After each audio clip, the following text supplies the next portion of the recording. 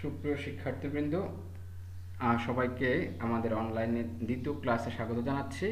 আমরা গত ক্লাসে review of some basic concepts ম্যাথমেটিক্সের কিছু কনসেপ্ট নিয়ে আলোচনা করেছিলাম। তার ওই ধারাবাহিকতায় আমরা আজকে বাকি অংশগুলো আলোচনা করব। গত ক্লাসে আমরা সর্বশেষ বাহ্যিক চলক কি, অভ্যন্তরীণ চলক, বাহ্যিক চলক এই বিষয়গুলো নিয়ে আলোচনা করেছিলাম। আজকে আমি শুরু করব স্বাধীন চলক বা ইন্ডিপেন্ডেন্ট ভেরিয়েবল দিয়ে। স্বাধীন চলক নাম থেকে কিন্তু বোঝা যাচ্ছে ইন্ডিপেন্ডেন্ট সে কিন্তু ডিপেন্ডেন্ট না। অর্থাৎ যে চলক মানের জন্য অন্য চলকের উপর নির্ভর করে না বা স্বাধীনভাবে মান গ্রহণ করতে পারে, তাকে আমরা বলি স্বাধীন চলক। আমরা এখানে বলছি, উদাহরণ দিয়েছি Y equal ten plus two X এখানে এক্স হচ্ছে স্বাধীন চলক। আসলে এখানে এক্স স্বাধীন চলক, এটা বোঝাটা অনেক কঠিন। সাধারণত আমরা বলি যে সমান চিহ্নের ডান দিকে স্বাধীন চলক অবস্থান করে এবং বাম দিকে অধীন চলক অবস্থান করে। এই কারণে এখানে এক্স হচ্ছে স্বাধীন চলক। যেমন আমরা আমাদের ইকোনমিক্সে আমরা যখন দামের কথা বলি, মানুষের চাহিদার হ্রাস বৃদ্ধিজনিত কারণে দাম ওঠানামা করে। দা দা, আবার দামের উপরে দাম যখন বাড়ে, কমে, তখন মানুষের চাহিদা বাড়ে। কমে বাড়ে। সো দামটা যদি আমরা স্বাধীন ধরি দাম বাড়লো বা কমলো, তার উপর নির্ভর করে মানুষ সিদ্ধান্ত নিচ্ছে, তাহলে সেক্ষেত্রে দাম হচ্ছে স্বাধীন চলক। আমরা আলোচনা করব অধীন চলক। স্বাধীন চলকের ঠিক বিপরীত ঘটনা হচ্ছে অধীন চলক, অর্থাৎ মানের জন্য অন্য উপর নির্ভর করে। যেমন আমরা যদি বলি বাজারে পণ্যের দাম বেড়ে গেল, তখন ভোক্তা তার চাহিদা কমে গেল। তাহলে চাহিদাটা অধী- অধীন চলক, কারণ ভোক্তার চাহিদাটা দামের উপর নির্ভর করেই কিন্তু কমে গেল। সো এক্ষেত্রে আমরা ডিমান্ডটাকে বলব, অধীন চলক আমরা এখানে বলেছি Y to ten plus two X যেহেতু ওয়াইটা এখানে সমান চিহ্নের বাম দিকে অবস্থান করেছে, সুতরাং এখানে ওয়াইটা হচ্ছে অধীন চলক। এবার আমরা আলোচনা করব বিচ্ছিন্ন চলক বা ডিসকন্টিনিউয়াস ভেরিয়েবল আমরা এখানে বলছি যে চলক একটি নির্দিষ্ট পরিসরের সকল মান গ্রহণ করতে পারে না, তাকে বিচ্ছিন্ন চলক বলে। আমরা আরও যদি সহজভাবে এটাকে উপস্থাপন করার চেষ্টা করি, আমরা যেটা বিচ্ছিন্ন চলকের চিত্র অঙ্কন করি, তাহলে এটা কিন্তু একটা নির্দিষ্ট পরিসরে সকল মান নিতে পারবে না। অর্থাৎ কোথাও না কোথাও আলাদা হয়ে যাবে চিত্রটি একটা থেকে আরেকটা বিচ্ছিন্ন হয়ে যাবে। তাহলে সকল মান গ্রহণ করতে পারে না। অর্থাৎ দুঃখজনক বিষয় হচ্ছে, পরীক্ষা যখন এই প্রশ্নটি আসে, তোমরা কিন্তু উল্টোটা রেখে ফেলো। তোমরা লেখো পারে। পারলে কিন্তু সে বিচ্ছিন্ন হতো না। পারলে তো সে টানায় চলতে থাকবে, কোথাও তার গ্যাপ পড়বে না। পারে না বলেই তো গ্যাপটা পড়ছে। সো সকল মান গ্রহণ করতে পারে না। এটা হচ্ছে বিচ্ছিন্ন উদাহরণ কোনো স্কুলের ছাত্র সংখ্যা। একটা স্কুলের ছাত্র সংখ্যা পাঁচশো হতে পারে, পাঁচশো বিশ হতে পারে। কখনো পাঁচশো উনিশ দশমিক তিন হবে না। তাহলে আমি দেখতে পাচ্ছি অপূর্ণ সংখ্যা। আমরা যেটা গত ক্লাসে আলোচনা করেছিলাম, ভগ্নাংশ বা অপূর্ণ সংখ্যার মান কিন্তু গ্রহণ করতে পারছে না এক্ষেত্রে। সো এটা একটি বিচ্ছিন্ন চলক। পক্ষান্তরে অবিচ্ছিন্ন চলক হচ্ছে যে চলক একটি নির্দিষ্ট পরিসরে সকল মান গ্রহণ করতে পারে।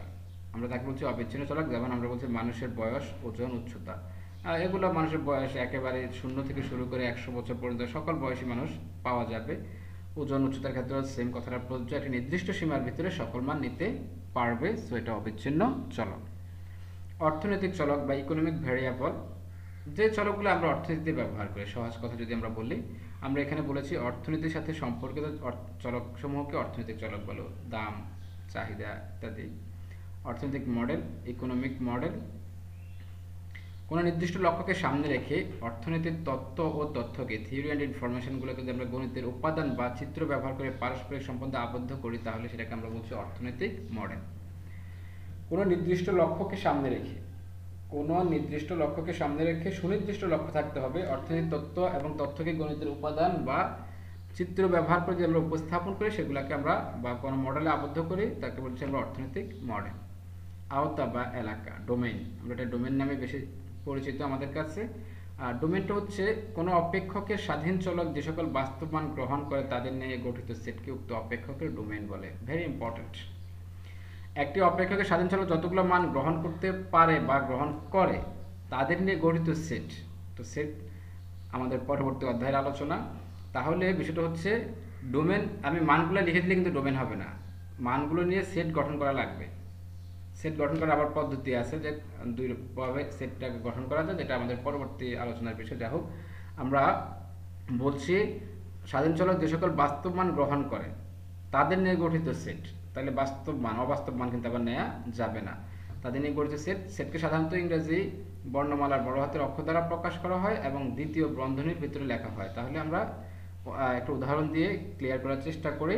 Y equal to X plus two অপেক্ষকে এক্সের মান সমান যদি ওয়ান টু থ্রি হয়, তাহলে উক্ত অপেক্ষকের ডোমেন হবে ডোমেন সমান আমরা এখানে ডি দিয়ে প্রকাশ করতে পারতাম ওয়ান টু থ্রি সেটের উপাদানগুলোকে কমা দিয়ে পরস্পর আলাদা করা হয়। আমরা এখানে কমা দিয়ে পরস্পর আলাদা করেছি। সেটের উপাদানসমূহকে দ্বিতীয় বন্ধনীর ভিতরে লেখা হয়। এই কারণে আমরা দ্বিতীয় বন্ধনীর ভিতরে লিখেছি সব সময় মনে রাখতে হবে সেটের উপাদান সবসময় দ্বিতীয় বন্ধনীর ভিতরে অবস্থান করবে।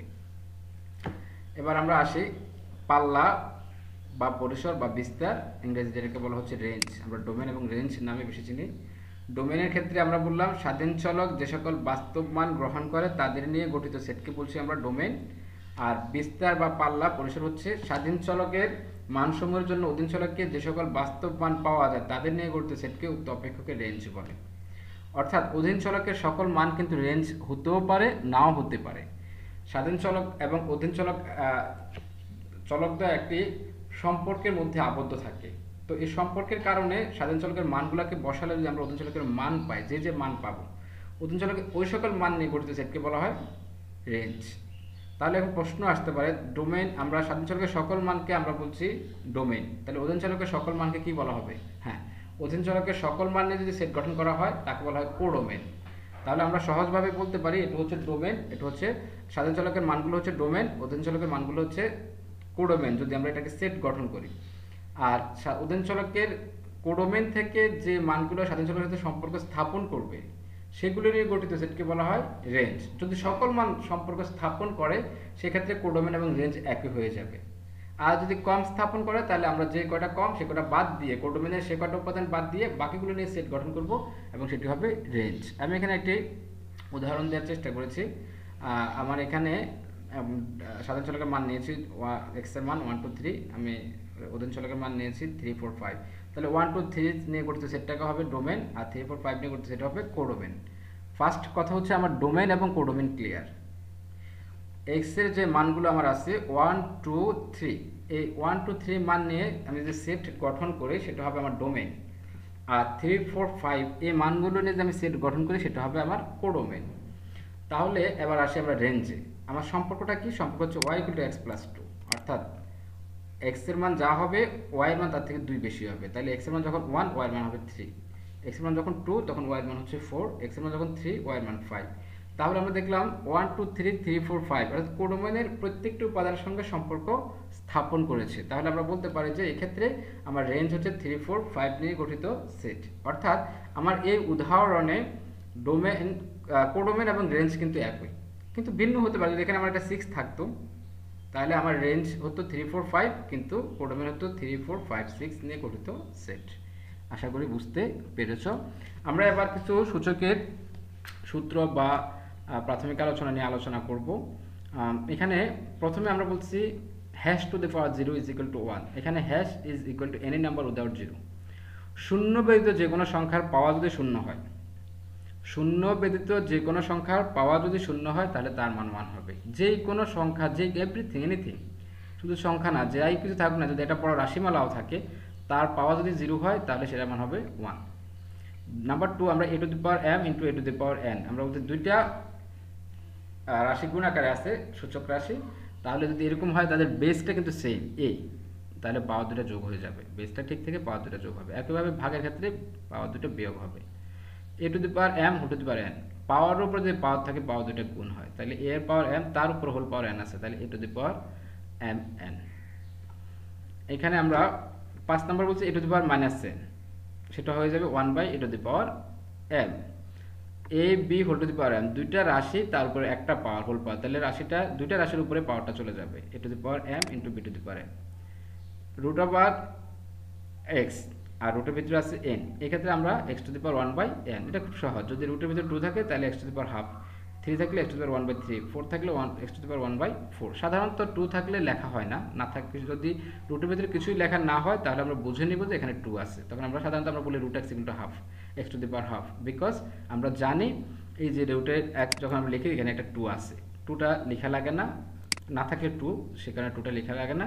আমরা X to the power half লিখি। এইভাবে যদি থ্রি থাকে X to the power one by three five থাকলে X to the one by five আমরা বলছি এন থাকলে ওয়ান বাই এন এন মানে নাম্বার যে কোনো সংখ্যা থাকলে X to the power one by তত।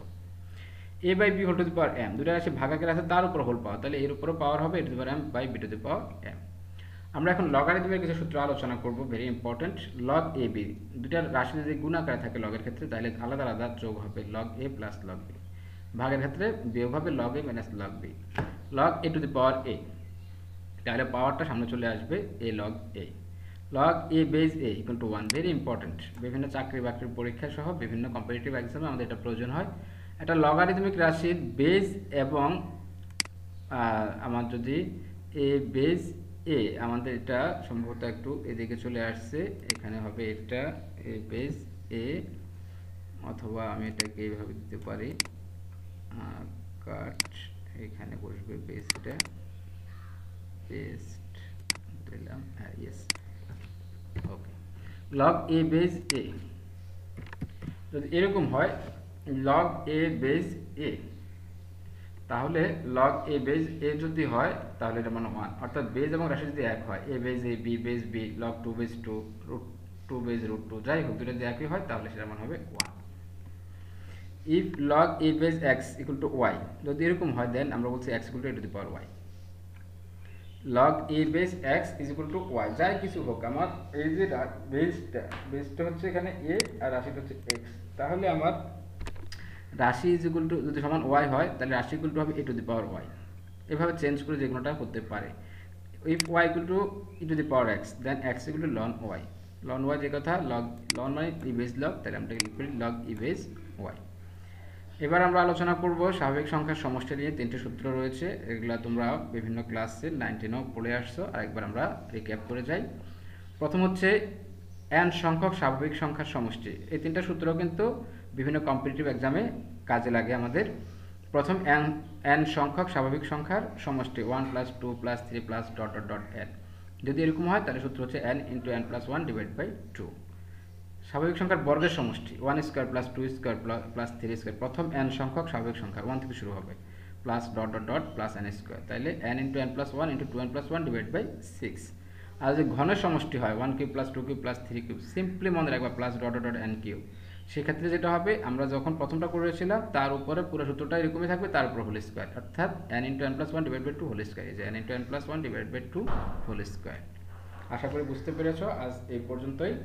আমাদের পরবর্তী ক্লাসে আমরা আলোচনা করব নতুন কোনো সমস্যা নিয়ে। সে পর্যন্ত সবাই ভালো থেকো। আল্লাহ হাফেজ।